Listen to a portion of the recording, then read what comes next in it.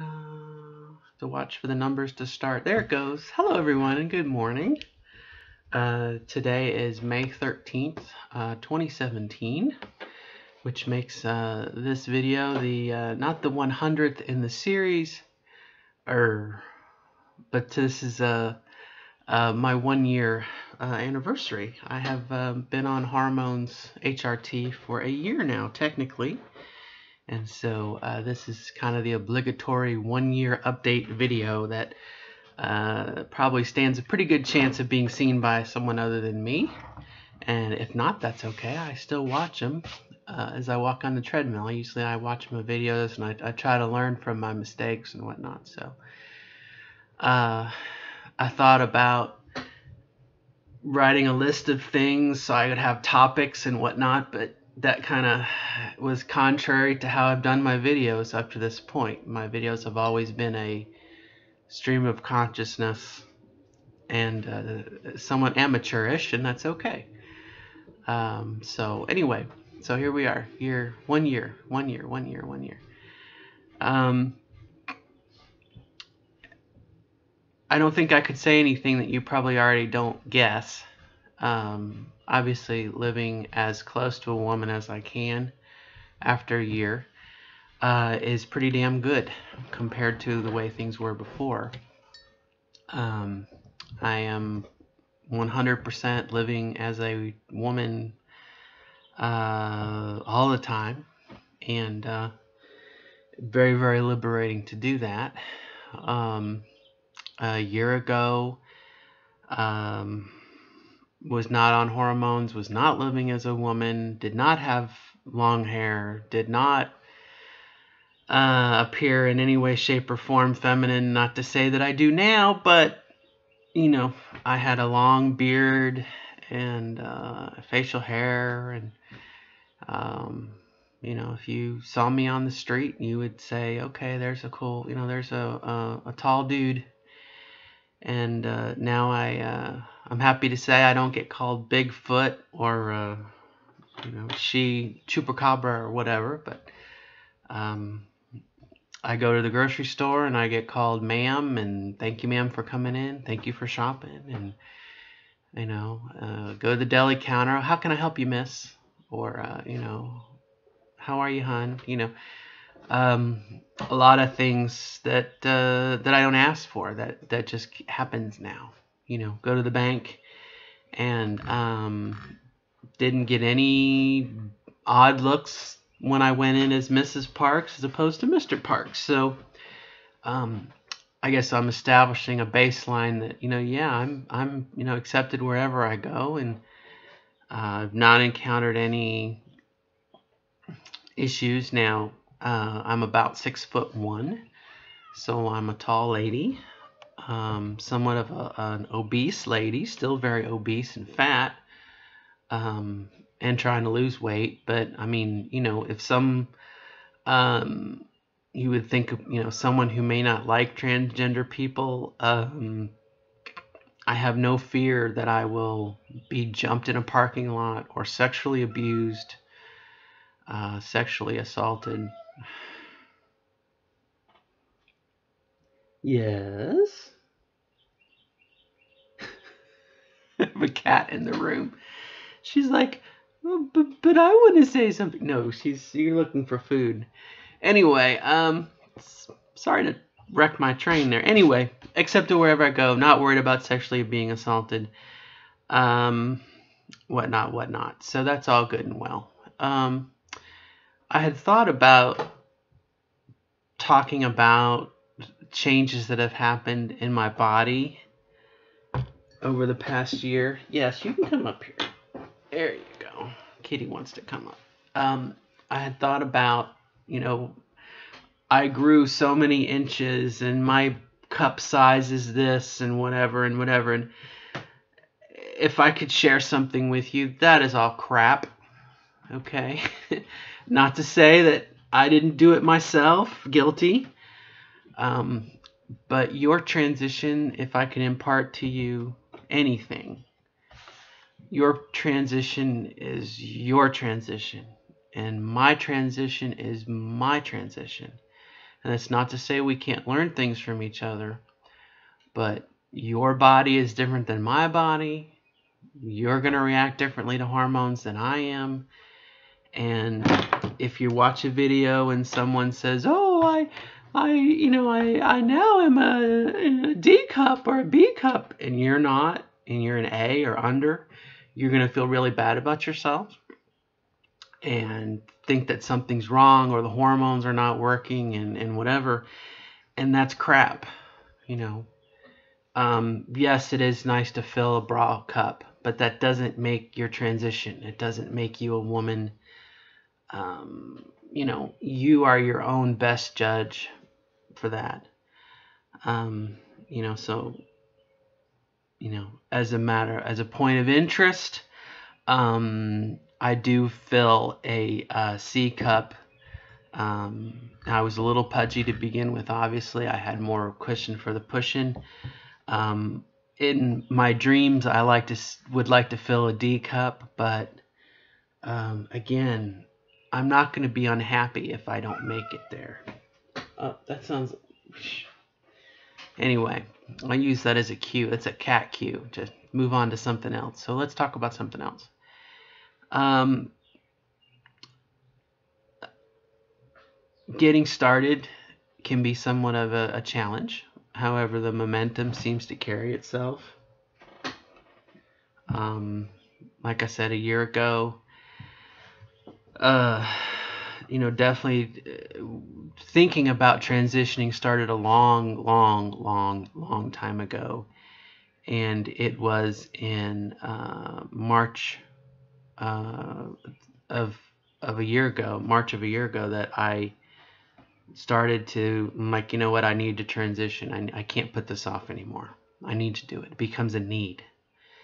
And uh, sought out a therapist, went through my three or four sessions, got evaluated, got my letter, and sought out an endocrinologist. Um, actually, ended up at a nurse practitioner um, who had experience in uh, trans stuff. Got involved in the local uh, Trans Women National Support Group, and it just so happens that my endocrinologist was there the week before to just talk about hormones and whatnot. So she knew me.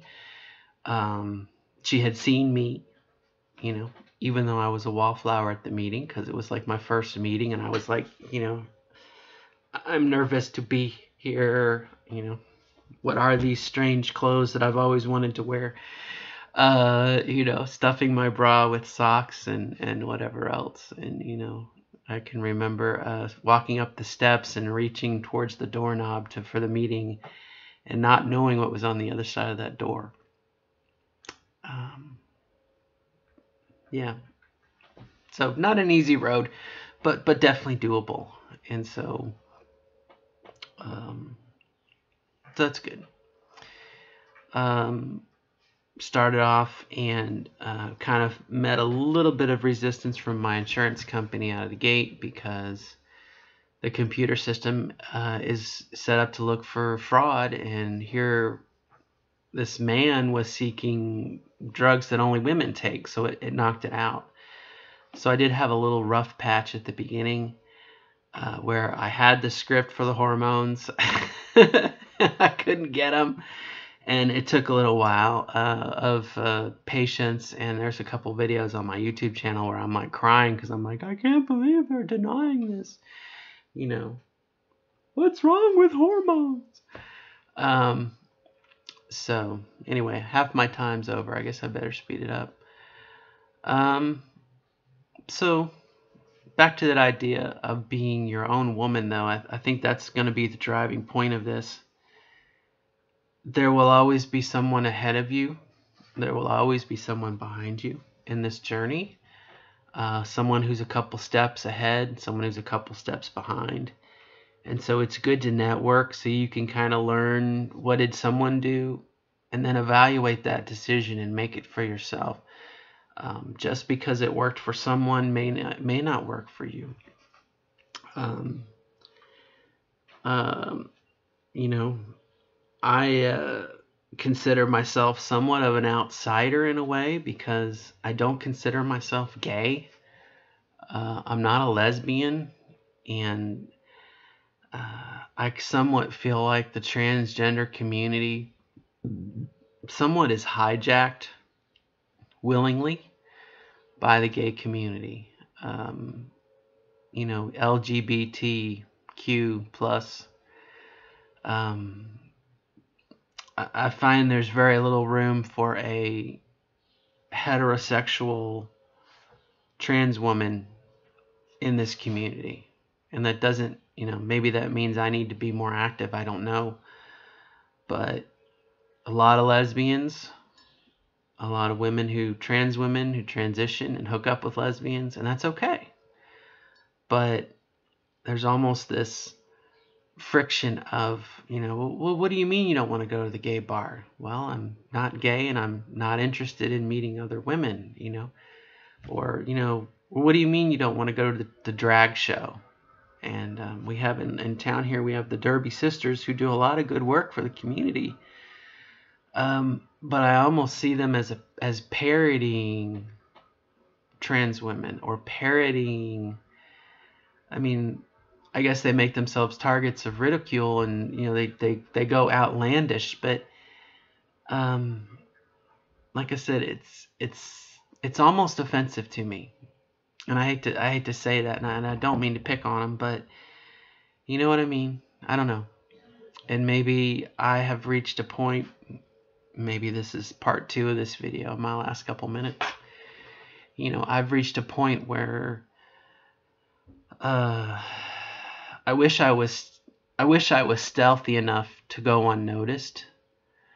Um, you know, I'm I'm definitely a big girl, a big trans woman, a big woman anyway, but um, I think I feel myself withdrawing again. You know that um, I just want to be a woman in the background now. I don't want to be front and center. I don't want to be you know so that's where i'm headed. I'm i'm pulling back from the community now.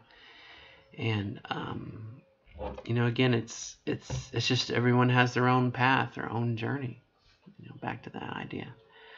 Um transitioning at work went really really well for me. Um, I work at a, a, company that actually has a um, booklet on transitioning at work and a program um, and they definitely have a huge, huge uh, inclusion and diversity department that that takes everything. And so, you know, my transition was pretty damn cool. Um, so yeah, I mean, um, here we are at a year, and it's kind of the end of the year of firsts. You know, your first time going to the grocery store, your first time going to the mall, your first time this uh, the first few times, I mean, I still get a little high, a little buzz off of being called ma'am. You know, the other day, uh, someone at the Little Caesars uh, place said miss. They called me miss, and that was really the first miss I had gotten before it was Mrs. or ma'am. And, uh, you know, I was like, okay, either your glasses are foggy and you can't see. You know what I mean? It's like you, you, you surprise yourself. Um, so anyway, um, I'm trying to think for this to be a year video. Um, what's ahead?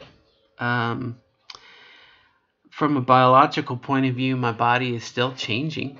Um, my breasts are still sore this morning, especially uh, the nipples and whatnot, which tells me I'm about to go through another phase of growth.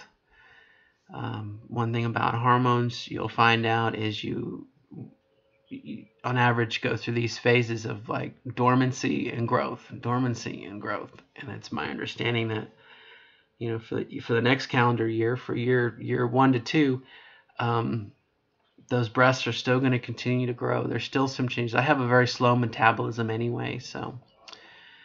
Um, but anyway, my last 30 seconds here. Um, again, I would say to anybody, regardless of where you are on your path, um, there's definitely a lot you can learn from people that are a couple steps ahead and a couple steps behind.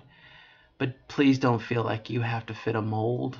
You have to be like someone else. You have to, you know, makeup and high heels don't necessarily make the woman. You make your own path. You're going to have your own style.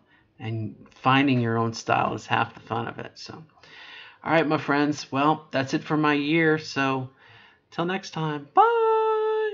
And as always, good luck.